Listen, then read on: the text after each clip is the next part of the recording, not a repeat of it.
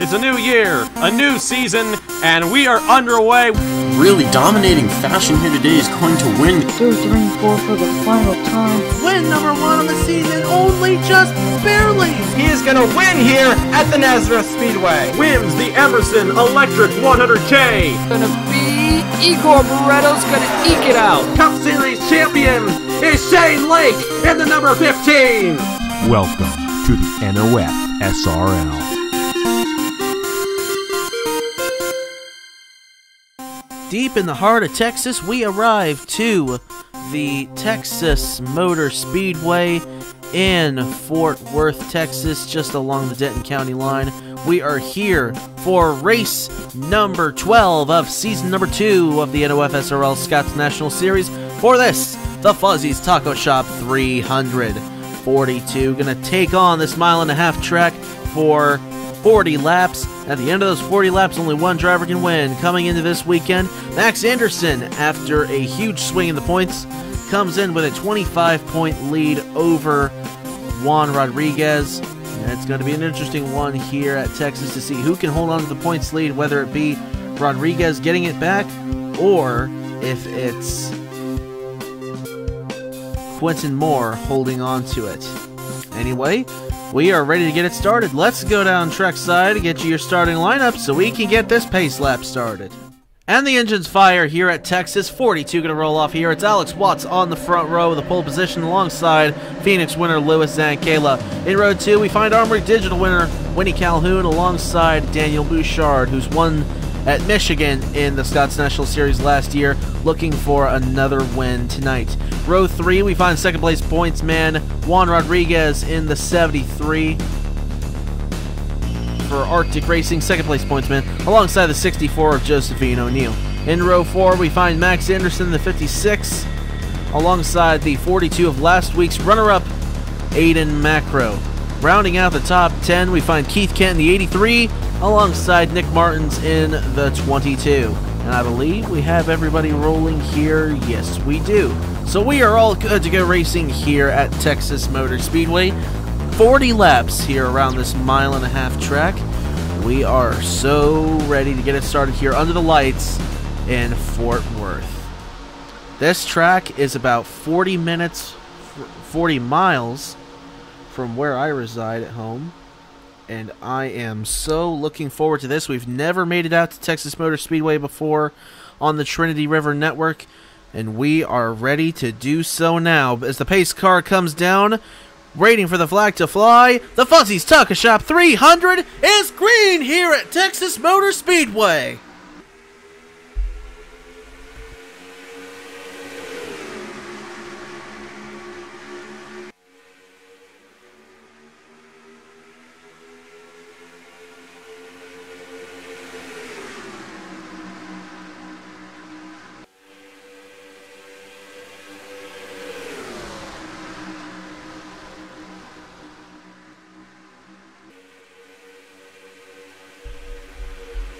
Alex Watts is going to lead lap number one of the Fuzzy's Taco Shop 300. They're three wide for third place. Whitlock down low on Rodriguez and Zankala. Rodriguez is going to stretch away. The three wide will move backwards with O'Neill, Bouchard, Zankala. Kent almost into the back of the 19. Mike Cook gets to the inside in that 29 there in front of Timothy Ruiz. Whitlock and Rodriguez going to go side by side. O'Neill the 64 filing in underneath the 73 as well. Watts still up front leading ahead of Winnie Calhoun. Then it's Whitlock, O'Neill, and Daniel Bouchard right now in the fifth position. Three wide as Zankala gets to the top side of Kent and Landon Smith Jr. See Talladega winner Matt Tuck starting to move his way up down there on the inside, and that Permatex number 33. 99 Madison Tall working her way up there behind Richmond winner Jordan Lopez, who's working in behind Matt Tuck there. Max Anderson slipping back on the outside. Quentin Moore, points leader, still on the bottom line. We'll check in up front as side by side for the lead. Thought I saw it out of the corner of the screen there. It's Winnie Calhoun on the inside of Alex Watts for the race lead. Ford on the inside, Chevy on the outside. It'll be the double O Chevy of Alex Watts holding on to this lead for right now. The pole sitter has led every single lap so far in this race. But the action is hot and heavy right now. It's about to be even more so. As everyone trying to get all sorted out behind. Last week's winner, Igor Barreto, all the way back in the 39th position on track right now. As meanwhile, up front, here comes Reagan Whitlock leading a huge charge down low in that number five in front of Josephine O'Neill and Daniel Bouchard. Down the back straightaway, they'll get by the 20 of Winnie Calhoun. Roberto Crown Jr., the 27, is there on the inside of Bouchard. Those are teammates side by side. Landon Smith Jr., Keith Kent getting up there, as well as Timothy Ruiz actually slipping out of it. Lopez, Zankala, and more out of the pack. Rodriguez slipping backwards on the outside line, deeper in the field. There he is just on the outside of the 18 of Boston Jones. But up front, it is still Alex Watts leading this thing. He's got Reagan Whitlock bearing down on him, though, at 180 miles per hour.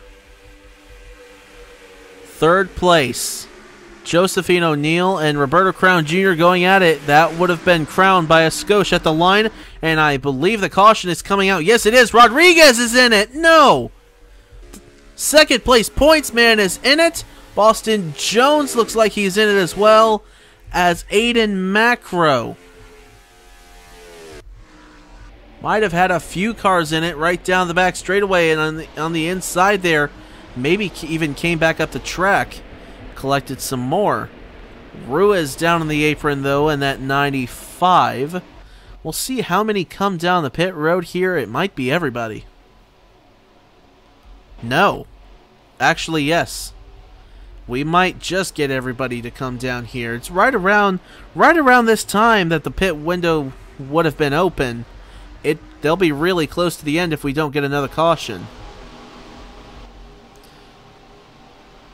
So this is going to turn into an interesting fuel mileage economy race for the rest of this if we don't have another caution. Alex Watts all the way down to stall number one.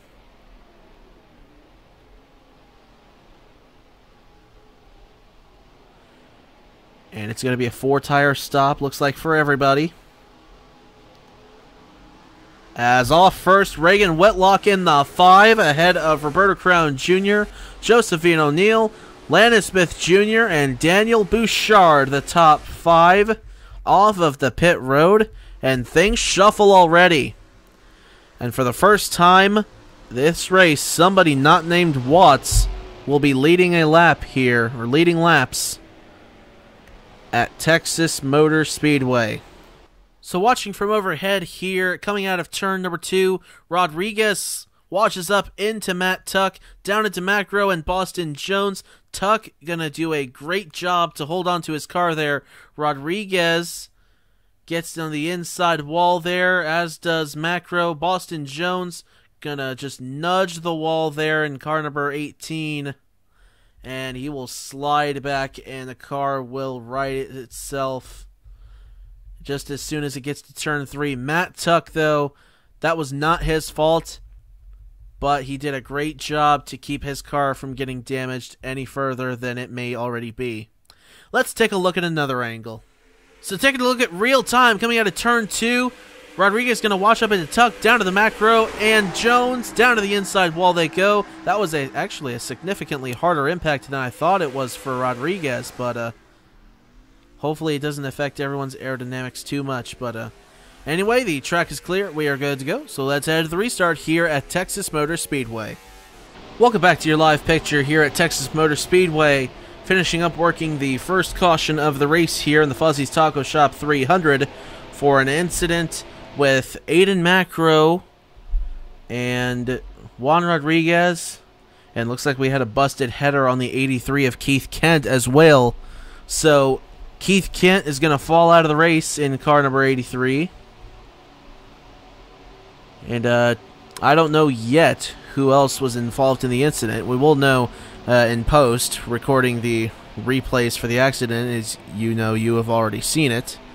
And you've heard me say plenty of times how we record uh, the replays in post so the game doesn't crash. So, But uh, Reagan Whitlock is leading this thing ahead of Roberto Crown Jr., Josephine O'Neill, Landon Smith Jr., Daniel Bouchard, then DJ Reed, Quentin Moore, Justin Seidel, Max Anderson, and Joshua Harrison rounds out the top 10 here at Texas Motor Speedway. We're coming around for 29 laps to go here in the Fuzzy's Taco Shop 300. It's going to be a close race on fuel to the end. We'll see how it goes. Green flag getting ready to come back out here. And it is out. We are racing again at Texas Motor Speedway. A great launch for Reagan Whitlock. Roberto Crown Jr. did not get going there. And so Josephine O'Neill didn't either. Landon Smith Jr. able to get to third immediately. DJ Reed with a big run around the 7 and the 64. Now he's going to go after the 30 of Landon Smith Jr. down low. Big run off the restart by the Rockingham winner. But Alex Watts led every single lap that Reagan Whitlock has not. Whitlock, that's the first green flag lap right there that anybody except Alex Watts has not has led in this race so far. Roberto Crown Jr. trying to get around that five. DJ Reed trying to get around Crown. Coming out of turn number four, we will have 27 laps to go this time by through the quad oval. Whitlock still holding on to the lead. Nobody making a move right now for the race lead. Zidell way down low on Daniel Bouchard, headed off into turn number one, and somehow he's going to stick it with that number 90 down low. A bit of shuffling coming out of turn number two. They gather it back up, and we are still going here as Reagan Whitlock is still up front here at Texas Motor Speedway. While we come back just in time, Roberto Crown Jr. is going to take a look down low in that 27 for the race lead, headed off into turn number one. And Roberto Crown Jr. is going to take it away coming out of turn number two down the back straightaway, and he will clear that five. Speaking of five, five cars on the inside and behind. Roberto Crown Jr. Five cars in that train in total. Whitlock trying to get back underneath. He's got Landon Smith Jr. with him, and if Crown can't get can't hold off the 30, he's in big trouble. Whitlock back up front. O'Neill in behind the 30, Landon Smith Jr. Gonna try to force it three wide through turn three and four. Crown on the outside, O'Neill, Smith, three wide, coming out of turn number four through the quad oval. Give it to Josephine O'Neill, second place there. What a move! And so she will stretch away from that group and try to chase down Reagan Whitlock in the five as they are getting tight and feisty coming out of turn number two.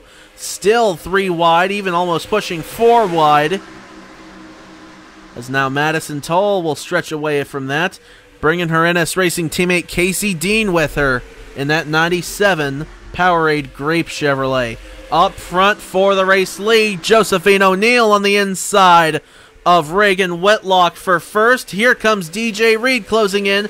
Max Anderson and Daniel Bouchard going to be side by side for fourth place. Give it to Max Anderson in the 56 and give the lead to Josephine O'Neill in the 64 for all Star Speed Team and owner Darren Arnsdorf. Max Anderson, the 56, started off the season very, very strong. He's had a good season. He has not won a race yet, though. Reed has won a race. Whitlock has not. O'Neill has not. Dean has not. Tull has won before, but not this season. Anderson has not won. But now he is up to third place. As Reed trying to get around the 64 of O'Neill, and he's going to have a chance going off to turn one here. O'Neill trying to work the top side. They're side by side coming out of turn number two. Oh, Anderson able to close in big time there in car number 56. All on the top side, trying to help O'Neill, but it's going to cut down low as DJ Reed moves into the first position at halfway here at Texas Motor Speedway. The field tightening back up. This almost looks like a mini Talladega I wasn't expecting this kind of race, but here we've got it going on. Max Anderson's going to go to the inside of DJ Reed in the 41. They're side by side, headed off into turn number three. Reed trying to work that top side. He's got a good shot. Whitlock closing in behind the 56 there. In the 5, rather. Reagan Whitlock behind the 56 of Max Anderson trying to give him help. Reed on, on the top side is going to stretch away from both of them.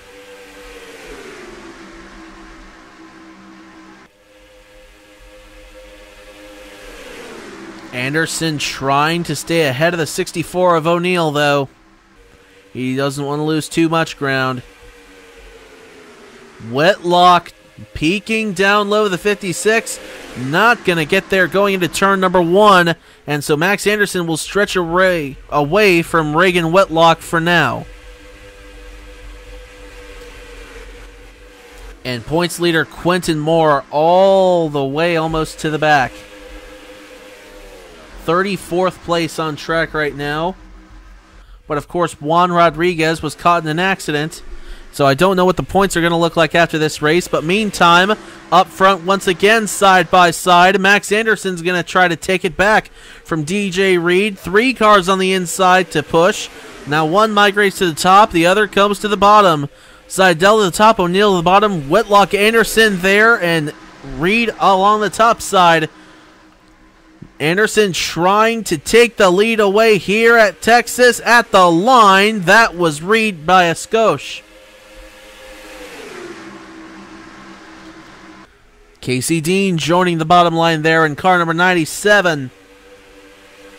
Reed stretching away from the 90 of Zidell. Zidell slipping backwards.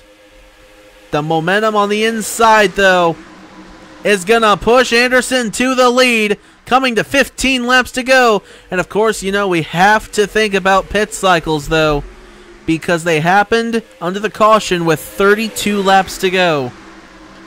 The pit window is 28 to 32 laps here.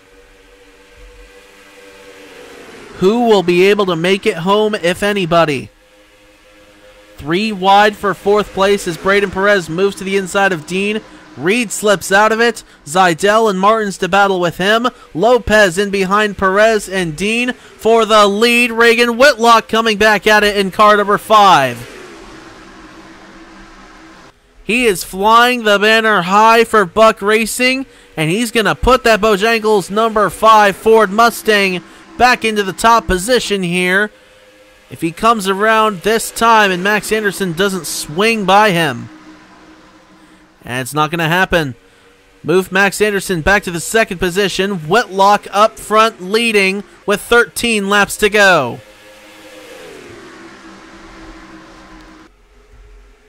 Anderson closing back in on Whitlock. Perez going to stretch away from that three wide that was back there.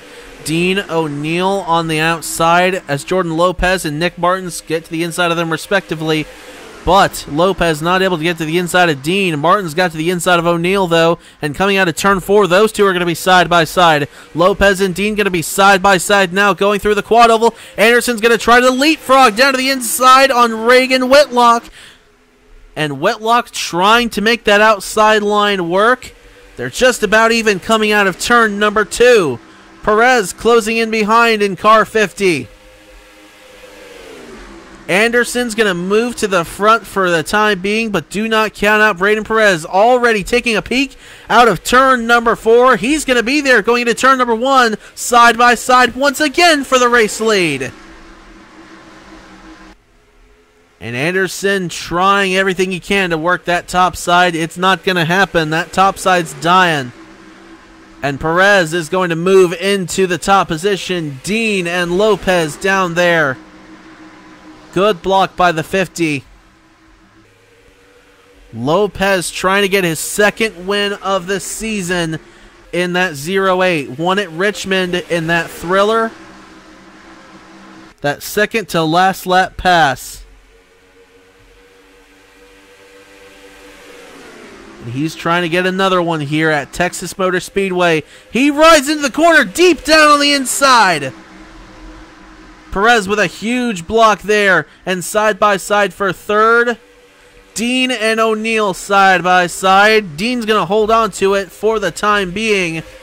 Max Anderson settles down in the fifth position. Winnie Calhoun to sixth. Martin seventh. And I can't even begin to guess on back. Up front for the lead, Jordan Lopez for Blackout Motorsports. Trying to take the lead here at Texas Motor Speedway. And Jordan Lopez to the lead of the Fuzzy's Taco Shop 300 with eight laps to go. Perez, Dean side by side for second. O'Neill and Anderson for fourth. Anderson, the inside lanes going away. Perez able to work the top. O'Neill able to work the top. O'Neill's going to hold off that 56. Perez not going to get back up in front of Dean, or is he? Yes, he will. But now seven laps to go this time. Can they chase down Jordan Lopez in the 08? Or will we see a late race pit cycle here? It's just over 0.4 seconds, the gap between Jordan Lopez and Braden Perez. Perez starting to close in once again, though. Dean and Anderson going to go at it for the third position coming through the quad oval here. Dale Lightning in the car 77 right there, the Cottonelle Ford, ready to pounce. Anderson down low on the 97. And Dean's going to make the outside line work. But Anderson's going to keep his foot in it and still go after third place there for the lead, Braden Perez. In car 50 on the inside of Jordan Lopez. They're still side by side at a turn number four. Five laps to go at Texas Motor Speedway. Braden Perez going to have the low line going into one, but the top side has been good over here late in this race. They're dead even off of turn number two. But now the advantage to Jordan Lopez just by a little bit. On the inside, headed for turn three, Perez will draw back even with him coming out of turn four. Lopez is going to have the lead at the line with four laps to go. Anderson looking to join the party behind. O'Neill and Dean still side by side. Lopez trying to clear the 50. Not quite. Yes, he will. And Anderson's going to take a look down low in car 56. But will these guys be able to make it home on fuel? That oddly timed caution put these guys in an awkward situation when it comes to fuel to make it to the end of this race who will be able to make it home and who will not. Lopez trying to hold on for win number two. Anderson looking for his first. O'Neill looking for her first. Lightning looking for his first in Scotts. Perez slipping backwards is going to be another heartbreaker in 2021 for Braden Perez on the Trinity River Network. Such a strong run tonight, but sliding back late. He might get out of here with a top five, though. Anderson and O'Neill going to go side by side. Anderson's going to hold on for now. But Jordan Lopez likes what he's seeing out his mirror. He's got one lap to go with the Fuzzy's Taco Shop 300. While they're going at it, he's pulled away to a half second lead. Anderson is only going to be able to get so close as Dale Lightning moves into the third position. Half a lap to go at Texas Motor Speedway. What a thriller it has been. It's to be Jordan Lopez coming around. What a performance late in this race. His second win of the season in the Scotts National Series. Jordan Lopez wins the Fuzzy's Taco Shop 300.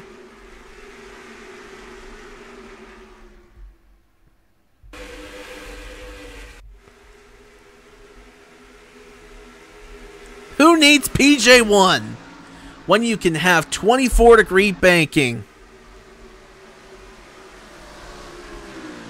Holy smokes, what a race.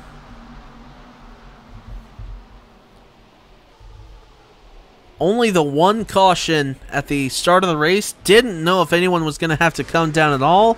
Nobody had to. Jordan Lopez out of nowhere comes through and is victorious at Texas.